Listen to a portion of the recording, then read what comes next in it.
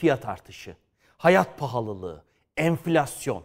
Perşembe günü çok değil 48 saat sonra evet biliyorsunuz TÜİK Ekim ayı enflasyonunu açıklayacak.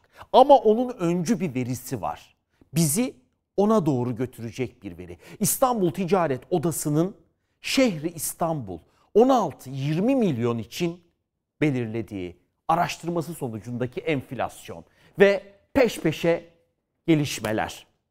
En yakıcı sorun manşeti. Hak ediyor mu? Çok net hak ediyor. İTO'nun oranına bir bakalım. Ekim ayı normalde aylık enflasyon oranı bir şey ifade etmiyor. Ama Ekim ayı olduğu için aktarmak istedim. %3.96 belirledim ben etiketlerdeki artış hızını dedi. Ama bu enflasyon iktisat diline, sizin halkın diline en yakıcı sorun dedim ama gelin yüksek enflasyonun neyle sonuçlandığını hiç bu işlere vaziyet etmeyen izleyicilerimiz için de söyleyeyim. Eğer paranın satım alım gücü düşerse, ürünlerin, hizmetlerin fiyatı artar, gerçekten para çarşıya pazara sizin cebinizde yetmemeye başlar. Hayat, yaşam çok pahalı olur. Bunu biz tutun. Peki ne diyor İTO? Benim belirlemelerime göre yıllık enflasyon yüzde 108'i aştı diyor. İstanbul için ne derler bilirsiniz. Özellikle seçimlerde. Türkiye'nin tam bir örneklemesidir.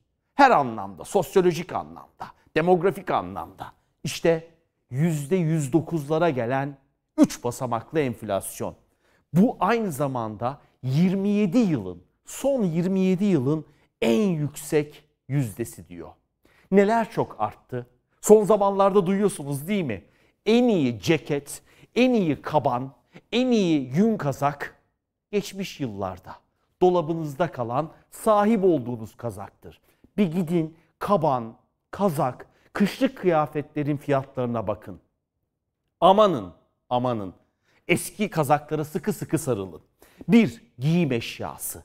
En çok o artmış geçen ay. İki, ev eşyaları. Beyaz eşya, bulaşık makinesi, çamaşır makinesi, mobilyalar uçuyor. Ve gıda birincilikteki yerini geriye doğru çekmiş kaptırmış. Peki Türkiye Ziraat Odaları Birliği'nin verisi.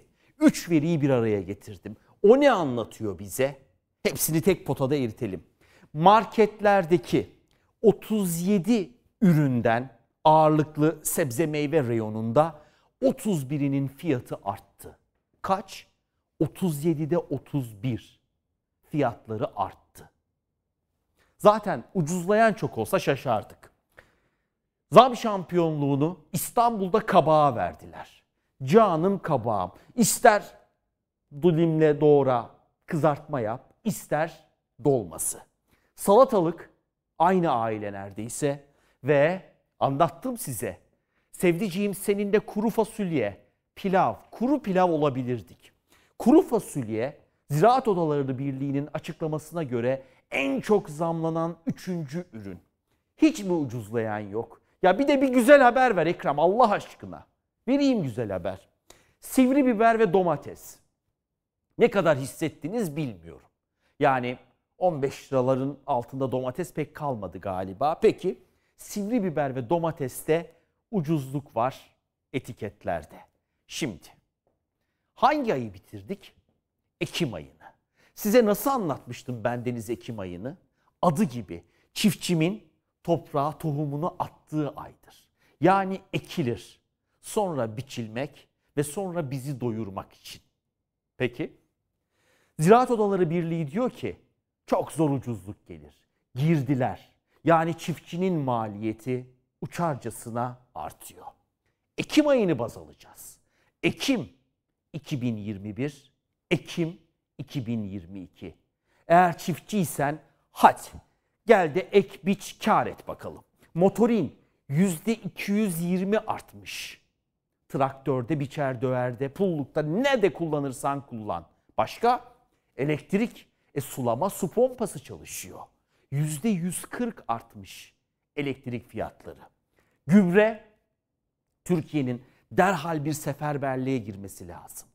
Kendi gübresinde kendisine yeter olması anlamında. Ama ana madde doğalgaz. Şimdi %72 ile çeşidine göre %152 arasında gübre fiyatları artmış. Süt ve besiye mi? Anladın mı değerli izleyenim? Süt niye pahalı? Et niye pahalı? Yemi hayvanın %108 artmış. Ve zirai ilaç. Baktığınızda çiftçilerin odasına %95 artış göstermiş. Benim dolarla işim yok.